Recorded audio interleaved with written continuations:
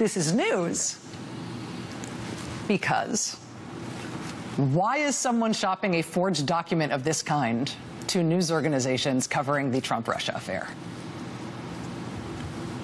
Last week, three journalists resigned from their jobs at CNN after that network retracted a story they had written about the Trump administration related to the Trump Russia affair. CNN says the sourcing of that story, in retrospect, did not meet its editorial standards.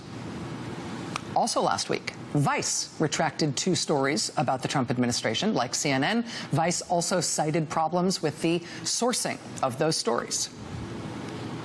The thing that's knocking around in the back of your mind right now is from 2004 when the legendary Dan Rather lost his career at CBS over a story for the evening news that delved into George W. Bush's truncated service in the National Guard during Vietnam.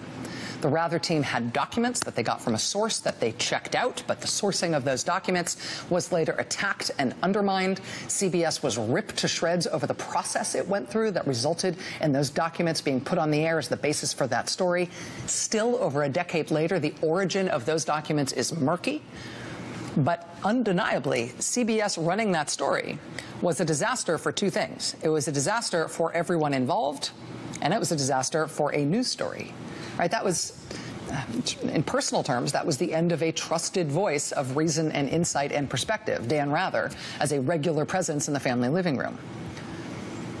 In terms of the news, that was a spike through the heart of the story of George W. Bush's National Guard service keeping him out of Vietnam, which was a true and interesting story, and which really might have been a serious ongoing political liability for candidate George W. Bush but nobody was ever willing to touch it again during that campaign because of the way those documents purporting to prove out the worst aspects of that story blew up like a pipe bomb at CBS News.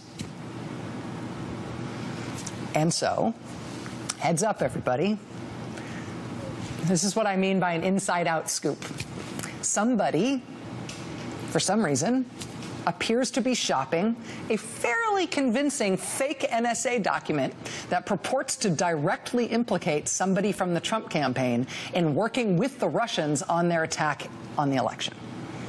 It is a forgery. Let me caveat that. It is either